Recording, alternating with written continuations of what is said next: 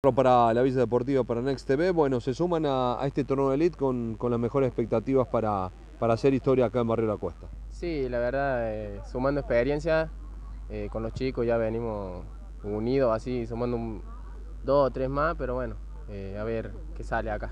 Bien, bien. ¿Cuál es la clave en este tipo de torneos donde se juega rápido y se pega el arco? Y para mí, bueno, ser campeón principalmente y bueno, venía a divertirse con los chicos, jugar al fútbol, que es lo que más nos gusta. Y bueno, llegar a lo más alto posible. ¿Por qué eligieron torneo de elite? Eh, no, no sé, surgió ahí, los chicos hablaron entre ellos, la verdad yo no sabía nada, me enteré al último, pero bueno.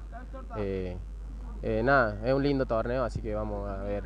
Hay mucho nivel, se ve que hay mucho nivel, así que vamos a ver hasta dónde llegan. ¿Hay buen potencial también? Sí, sí. para campeonar, digo? Sí, sí, sí. Nosotros, bueno, venimos de salir tricampeón en otro torneo acá en Carlos Paz, así que eh, venimos con todas. Bien ahí. Hermanito, cerrando la nota, saludos para quienes. Eh, para todos los chicos del grupo, para la gente que siempre nos viene a apoyar y para los que nos apoyan desde afuera. Gracias, hermano. No, gracias. Gracias.